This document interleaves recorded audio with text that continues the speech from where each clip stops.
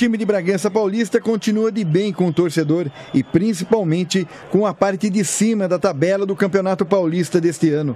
Vem de resultados positivos e de jogos com muitos gols. Só nas duas últimas rodadas, o time de Maurício Barbieri balançou as redes cinco vezes. Contra o Água Santa foram dois gols dentro de casa e contra o Novo Horizontino, três gols fora de casa. Conseguir marcar um bom número de gols, conseguir ter uma defesa consistente, eu acho que isso é em função, como eu disse anteriormente, do compromisso, da, de, da determinação de todos.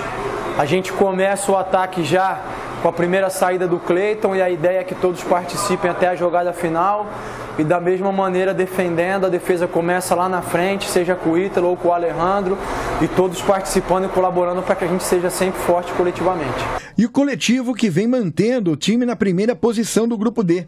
Com 16 pontos, o Massa Bruta está com 7 de vantagem para o segundo colocado, que hoje é o Santos, e uma larga vantagem para a Macaca Campineira e o time do ABC Paulista, ambos com 9 pontos. Faltando quatro rodadas para terminar a primeira fase do Campeonato Paulista deste ano, a meta agora é manter a liderança do Grupo D, para que nas quartas de final o Bragantino possa enfrentar o seu adversário no Bichedid em casa. E este pode ser o Santos, a Ponte ou até mesmo o Santo André. Pela vantagem que a gente conseguiu abrir, a gente tem tranquilidade agora nas próximas semanas é um, um, momento raro que a gente vai ter na temporada de ter as semanas abertas, então a gente consegue, além de recuperar os jogadores, trabalhar algumas questões que a gente precisa desenvolver melhor.